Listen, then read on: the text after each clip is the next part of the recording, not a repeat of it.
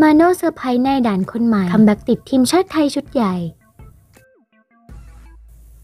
ทีมชาติไทยชุดใหญ่ ภายใต้การนำทัพของมาโน่โพลกิ้งได้ส่ง 26 รายชื่อ ให้กับทางสมาคมฟุตบอลแห่งประเทศไทยไปแล้ว เพื่อเตรียมลุยดินแดนอาหรับฟีฟ่าเดย์เดือนมีนาคมโดยมาโน่ โพลกิ้งเซอร์ไพรส์เรียกตัวปฏิวัติ คำไหม นายด่านมือกาวจากเมืองทองยูไนเต็ด ซึ่งฟอร์มกำลังร้อนแรง ช่วยทีมให้ไม่แพ้ใครสี่นัดติดด้วยชนะ 3 นัดรวด ฟอร์มกำลังร้อนแรง ช่วยทีมไม่แพ้ใคร 5 นัดติดต่อกันด้วยชนะ 4 นัดรวด เข้าสู่ทีมชาติไทยชุดใหญ่อีกครั้ง